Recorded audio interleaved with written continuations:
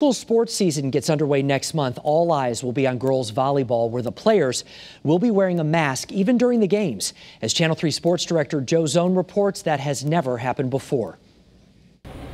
They walk into the Cheshire gym in single file. Nine girls in one of the four cohorts that practice alone for an hour after school.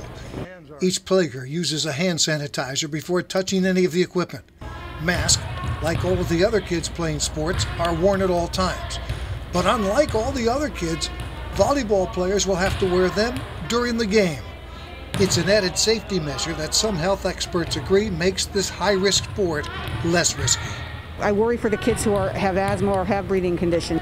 It's definitely, we give them frequent mask breaks. We tell them if they are having difficulty breathing, just go outside, take a break, take the mask off. I think it's going to be really hard for us to kind of keep up our momentum without having to feel so like dragged down by not being able to get air as easily.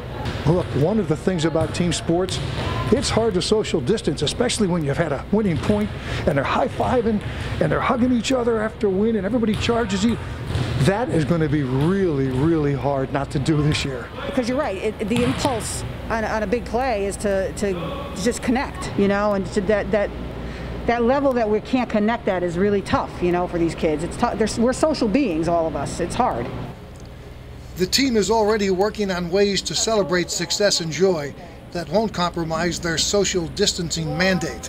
Um, like clapping with ourselves instead of like with our teammates or like being in the bleachers where we're sitting so that we're not touching anything else.